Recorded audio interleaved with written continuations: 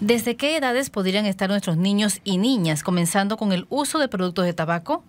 La edad de inicio que se ha identificado en las encuestas está alrededor de los 10 años. Es decir, hay que prestar atención desde muy chicos y no hay diferencia entre porque es un, chico o una chica, tenemos que mirar igual porque en el caso de los jóvenes, Panamá tiene una epidemia de tabaquismo de jóvenes de 13 a 15 años. Piden a los padres prestar atención a los artículos que sus hijos llevan a casa.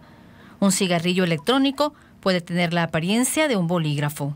Bueno, nos preocupa más el consumo en las regiones eh, fundamentalmente de las comarcas indígenas y Bocas del Toro, que es donde también identificamos unas prevalencias más elevadas en adultos.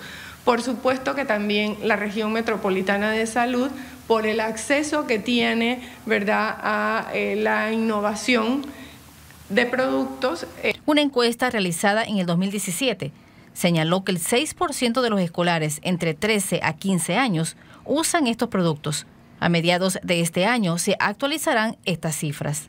Se estima que cerca de 2.000 defunciones al año en el país están relacionadas al consumo de tabaco, ya que 8 de las 10 principales causas de muerte están asociadas precisamente con el uso de estos productos o la exposición a su humo tóxico.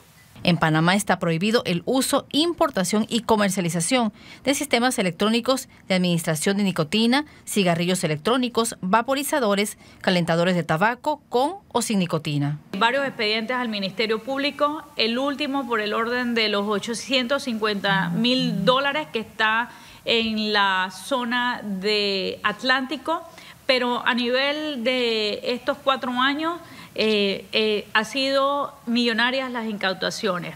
En febrero, Panamá será la sede de la décima conferencia de la OMS para el control del tabaco, seguido por la tercera reunión para la eliminación del comercio ilícito de productos del tabaco. Jenny Caballero, TVN Noticias.